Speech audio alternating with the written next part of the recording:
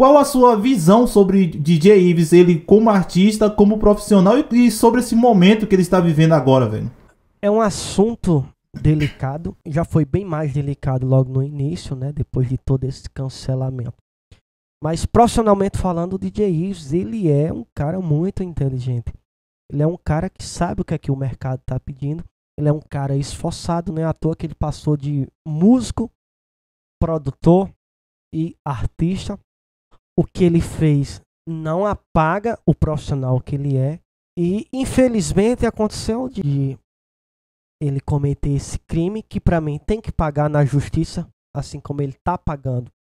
Mas uma coisa que nós temos que entender e é difícil demais é que existe o DJ Ives como pessoa, o DJ Ives com a vida pessoal e existe o DJ Ives como artista com a vida profissional.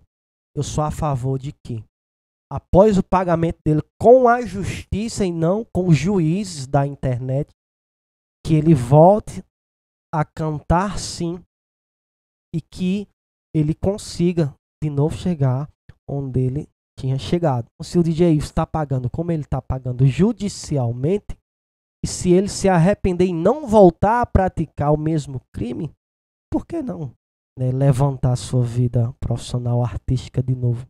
Se você acha que DJ Ives está preso, tem algum político por trás? Você acha que ele está preso por influência da internet? Qual a sua opinião sobre esse caso, velho?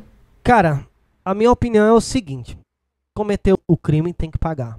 Mas tem que pagar com os parâmetros da lei. Ou se a justiça está mantendo a prisão dele por conta do apelo da população, eu acho errado.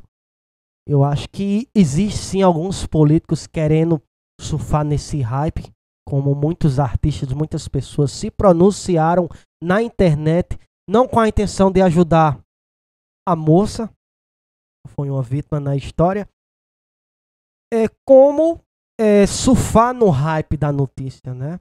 Então, eu acredito que existe sim é, é muita gente por trás mantendo a prisão dele por interesse popular. Alguns governantes chegaram a se pronunciar nas redes sociais eu acredito que é para ganhar né, a, a confiança do povo.